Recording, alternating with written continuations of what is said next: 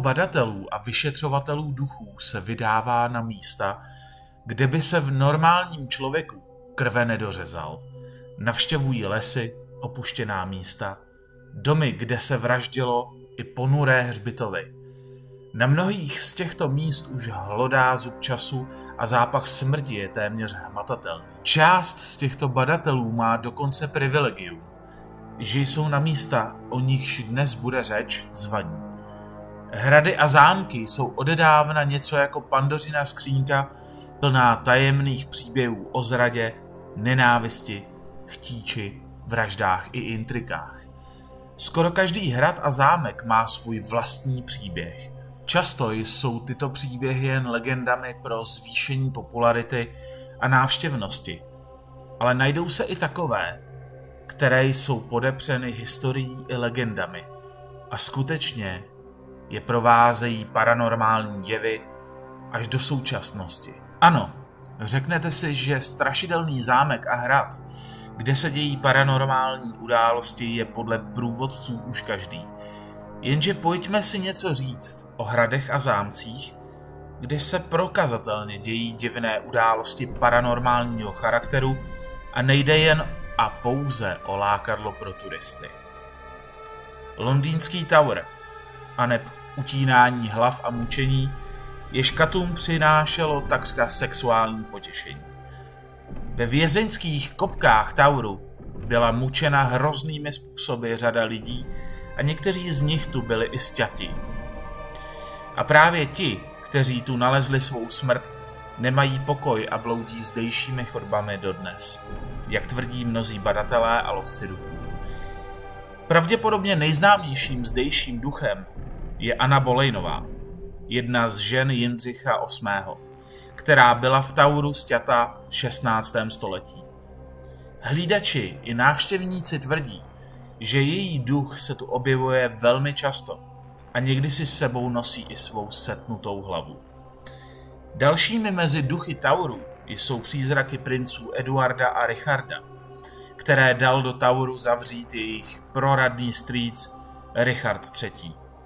Jejich osud je dodnes záhadou, nicméně si prý dodnes hrají v zdejších ponurých chodbách, procházejí zdmi a jejich přízraky levitují nad zemí. Návštěvníkům Tauru se zjevuje i celá řada dalších, méně slavných duchů, kteří nemohou po násilné smrti odejít a konečně nalézt svůj klid. A to ještě nejsme u konce. Téměř pokaždé, když v minulosti v londýnském Tauru mělo dojít k nějaké popravě, se údajně noc předtím v chodbách zdejších věznic zjevoval přízrak černého psa s růdě žhnoucíma očima.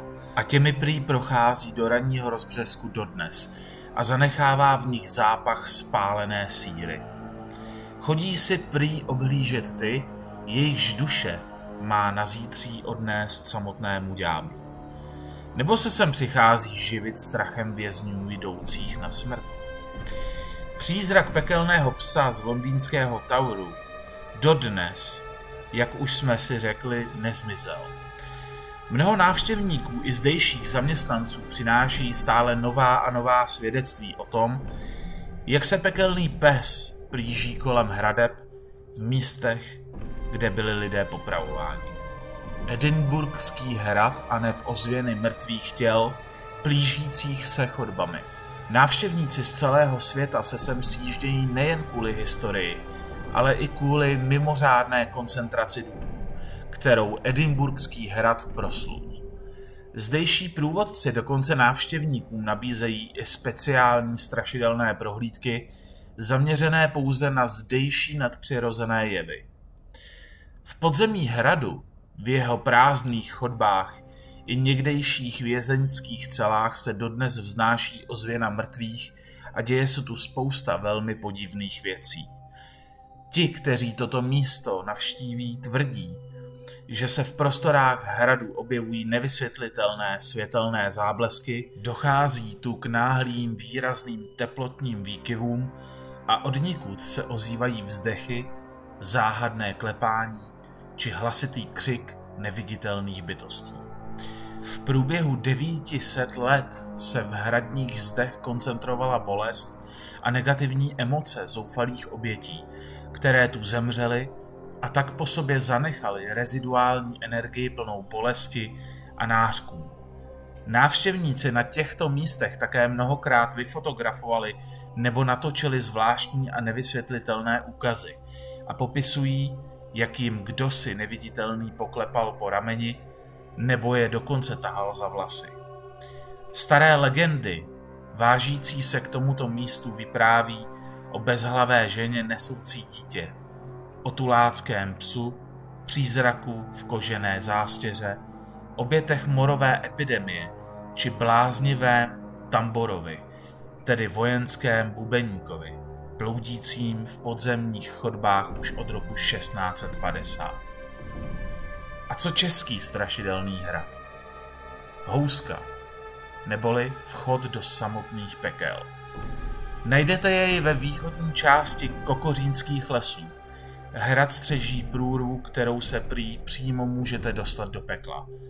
Údajně touto trhlinou ve skále stoupal sirný pach a na zem vycházely ďáblové. Odolávala ale urputnému zasypávání i jinému zaplátování. A tak nad ní dávní hradní páni nechali postavit hradní kaply a vchod do pekla dodnes střeží archanděl Michael.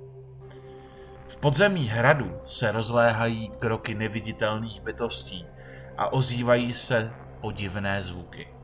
Pod hradní kaplí mají být zakopané kosti nelidských bytostí a taky jsou stěny kaple neustále vlhké, bez ohledu na venkovní teplotu. Citlivější návštěvníci mají prý při návštěvě housky nepříjemný pocit, bolesti hlavy a další nepříjemné příznaky, které se ve zdejší kapli jistě násobí. Návštěvník by měl věnovat pozornost i dávné výzdobě kaple. Na zdech tu najdete množství podivných zvířat, pololidí, kentaurů a spodobnění bytostí pocházejících ze světa nacházejícího se pod kaplí. Další dvě záhady se týkají samotné polohy hradu a jeho vnitřní architektury. Hrad byl postaven v pusté krajině bez dostupného zdroje vody. Proč? Napadá každého okamžitě otázka. Navíc jeho vnitřní uspořádání vypadá, jako by mělo zdejší obyvatele chránit ne před někým, kdo přijde zvenku, ale před něčím, co číhá právě uvnitř. Pokud se odvážíte, vypravte se sem za setmění a sami zjistíte, jaké podivné pocity vás zachvátí. A možná tu narazíte i na ducha černého měcha bez obličeje. Opravdu v těchto budovách straší? Jedno je ale více než jisté. Po internetu kolují mnohá videa s domělými duchy na kameře a pár záběrů je opravdu děsivých a zajímavých. Pojďme se podívat na nová videa zachycující duchy a paranormální dění, jak z celého světa, tak i z podobných míst, jako jsou hrady a zámky. Otočte zvuk doprava a potemněte místnost.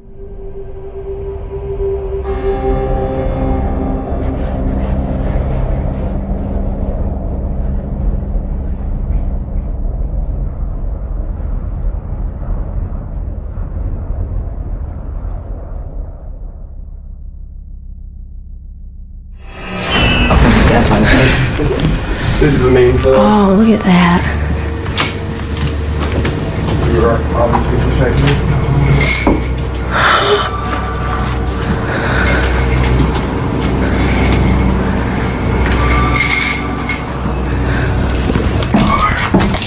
Oh, look at that. You're obviously protecting it.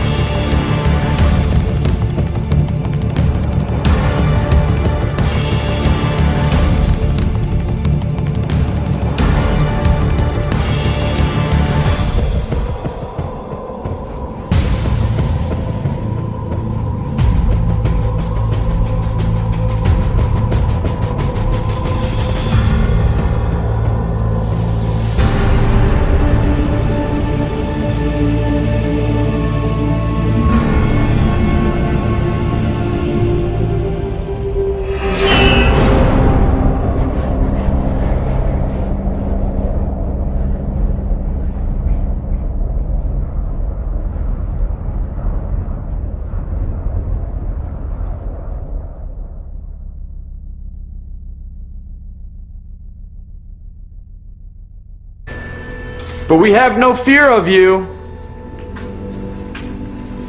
Okay? We have absolutely no fear of you.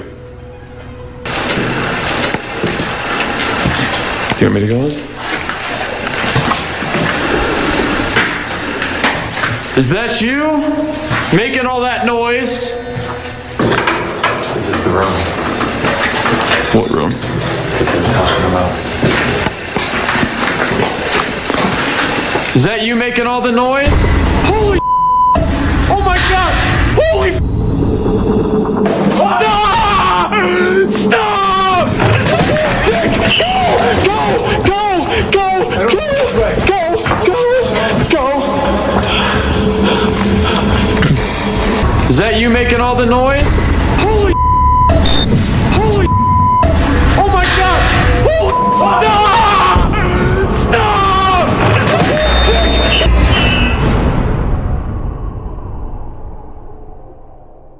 Dámy a pánové, doufáme, že jste se se záhadami života dnes zase bavili. A co vy, máte nějakou také zkušenost s druhou stranou? I my jsme se mnohokrát pokoušeli kontaktovat druhý břeh. Občas bez úspěchu, ale jednou na nás čekal i děsivý zážitek. O něm ale až někdy jindy.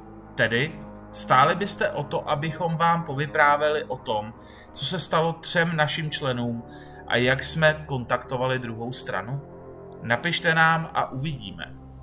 No a co si o dnešních videích, jež mají být reálným zachycením paranormálního dění na kamerách z celého světa, myslíte vy? My si myslíme, že nic není jednoznačné a něco mezi nebem a zemí, jak se říká, asi opravdu je. No a s tímto konstatováním se s vámi dnes loučíme, ale jen do příštího týdne. Těšte se na nový poutač na video a video samotné a do té doby se mějte jen a jen krásně a co hlavně zdravě.